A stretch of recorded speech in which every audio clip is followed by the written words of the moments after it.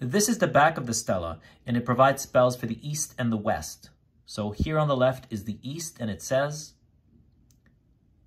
The eastern eye is filled with its perfection and regulated every month and every half month. Atum, his arms are about him. This Shu, upon lifting its boat, the stars, the gods, to their course.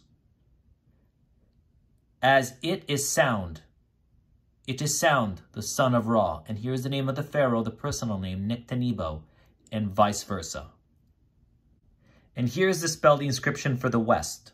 The western eye is filled with needed sustenance or provisions of food.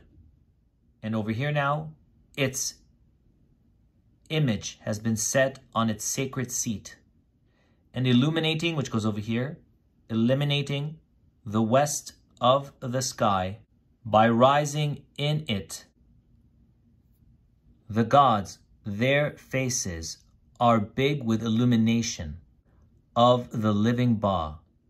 As the sun lives, so as the sun lives, and so lives the king of Upper and Lower Egypt. And here you have the throne name of the king, which is Seneb Jemibre Setep uh, Amun, Setep en Namun, and vice versa.